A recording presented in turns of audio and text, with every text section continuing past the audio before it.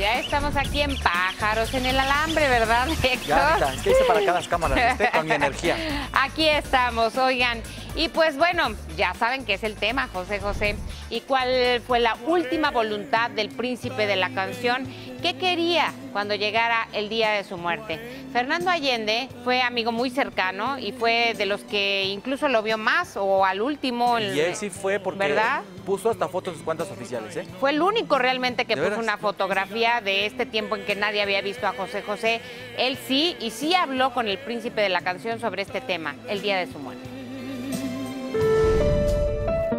Allende, íntimo amigo del príncipe de la canción José José, habló en exclusiva para Sale el Sol vía telefónica desde su casa en Puerto Rico y reveló que él conoció cuál era una de las últimas voluntades del cantante antes de morir.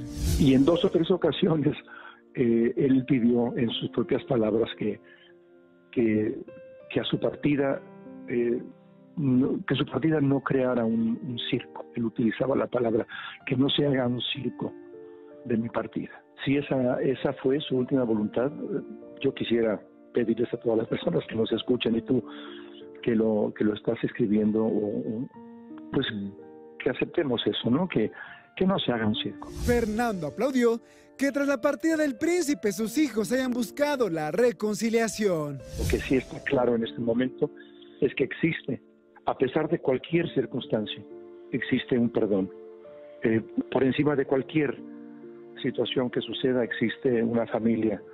Y, eh, y bueno, es lo que estamos viendo ahora y estoy seguro que es lo que él hubiera querido ver. Fernando confesó que siempre vio el gran cariño que le tuvo José José a su hija Sarita, pero que nunca escuchó que se expresara mal de sus hijos mayores. Te puedo hablar del enorme cariño eh, que, le, que le tiene y que le, que le tenía eh, José a, a- Sarita, a Sara, su esposa, a la baby nueva.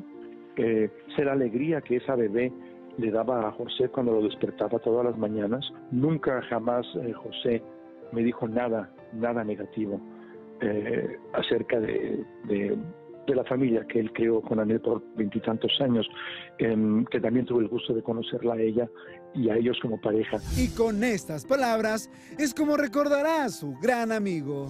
Tenemos que recordar que, que- que mi hermano, que José, que nuestro príncipe, um, él, él fue un guerrero, fue un guerrero incansable, pero nunca, nunca dejó de, de luchar. Un ser humano tan querido, tan, tan, eh, tan amable con su, con su sonrisa, siempre abierto de corazón y de mente a, a recibir el cariño del público y a, y a ofrecérselo de regreso. Soy Omar Argueta, sigue en Sale el Sol.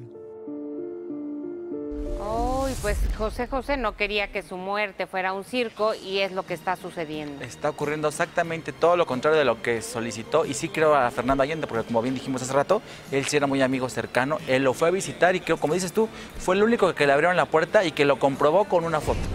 Ahora, él tiene razón, o sea, siempre es buen momento para el perdón. Si de veras todos van a tener buena fe y buena voluntad y van a actuar de la misma manera, aunque en el pasado Sarita haya procedido de otra manera, pero ya es como borrón y cuenta nueva, lo tendrá que demostrar.